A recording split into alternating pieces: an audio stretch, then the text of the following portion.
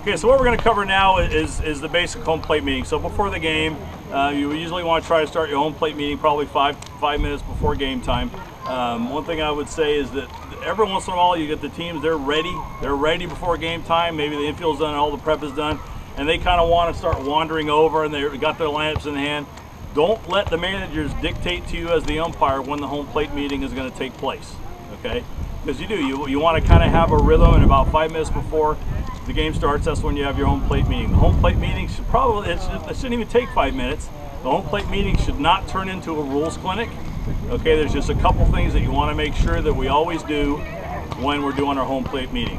Okay, so usually I would just yell out, managers lineup cards, yell it out, and they kind of come out. If they want to bring player reps with them, that's fine. Don't bring out the whole team, hopefully, but somebody's going to come out. Okay. All right, guys, how's it going? Uh, you guys are the home team, right? Okay, so let me take your lineup from you. Okay. All right, I don't see any duplicate numbers. All right. Kyle, you've got one, two, three, four subs today. Is that right? Okay. And let's see, your starting pitcher is number 21, Ahola. All right. And your catcher is number three. All right. Good thing.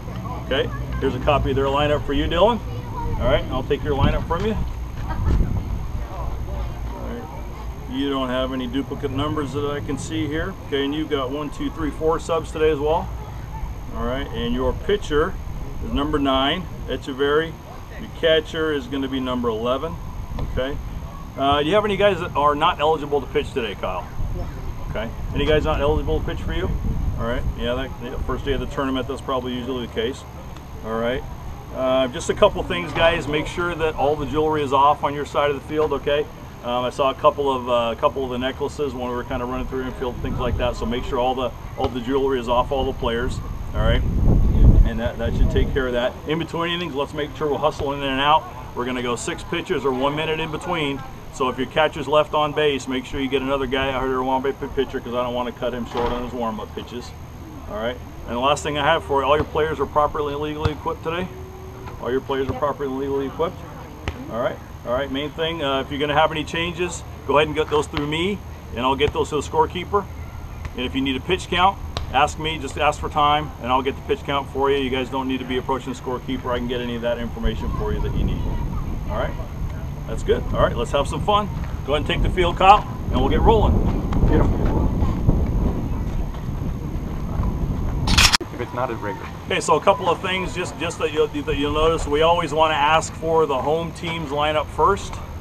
Okay, um, and then we always give this, and, and sometimes hopefully they'll come up with copies. Sometimes they'll hand me the whole stack, and I just say, you know, I just need your top two because I need one for me, and I need one that I'm going to give to the other manager. All right, so I do those same things before I do that if there's a sense that, that maybe just I just want to verify if I don't know that both teams have played played on this field before, and if not, then I might go over some of the ground rules about the catch and carry and fence line extended or any of those local ground rules that we might have. Okay, and then also if there's a chance that, that maybe we don't know each other, I would introduce Dennis to both managers, introduce myself, and we will get those things taken care of. But in a regular season game, these might be managers that you're probably working with all the time so you can kind of get those details and you don't need to do that every single game. Um, anything else? And then a lot of times too, I might say, Dennis, anything else? No, I think you covered it all, Dave. Let's do our play ball. Yeah, and, and again, the thing to remember is this is not the time to mess around. This is not the time to talk about, you know, the game before or any of those sorts of things. I don't talk about my strike zone. Okay, a lot of times the, the coaches will say, "What's your strike zone going to be?" And if they ask me that, I just say, well, if it's a strike, I'll call it. Okay. Um, and same thing with balks. They want to know, are you going to be calling balks? Yeah, if we see a balk, we'll call it. And, and there's some intricacies there. You don't say yes, we will be calling balks, because then you got the potential for a little bit. Of, I say if I see a balk, I will call it. So I don't say if there is a balk, I will call it, because now there's differences of opinion as to whether that was a balk or not. Okay.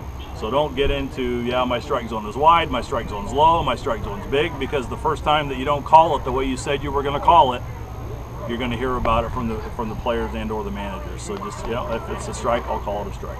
And they can't argue with that. It's a judgment call. They can never argue a judgment call. Yeah. So, you know, there's also, and uh, a lot of times, you know, some umpires will say, and if you know, if you disagree with a call, ask for time, um, go talk to the umpire. I usually don't get into that because I don't even want to set up the potential that there's going to be a call they're going to argue about. It should be, and the manager should know that if they need timeout, they ask for time and they can come and talk about the call if they want to. But I don't get into that and set that up that oh, if you have if we have a call that you don't like, come out and talk to us about it. I, I don't I don't get into any of that stuff at all. Quick, quick manager, the home plate meeting, because if you get into that kind of stuff, it'll run five and ten minutes, and before you know it, you're past game time, and and uh, everybody's wondering why we haven't thrown the first pitch yet. So, And once you're given the lineups, it's now your game. Yeah. Especially early in the season, if there's rain is an issue or something like that, it's it's it's not the umpires call us whether the game is going to start. But if it's iffy, they say and the managers and the board says yes, we're going to play. Now, as soon as they give me the lineups, technically I can say, you know, nope, field's not good enough. I'm not going to let these kids play on this field. You can't do that. Okay, now it's up to the umpires to decide whether the game goes or not. And it's your game until you leave the field at the end of play. So until you leave the field, it's your game.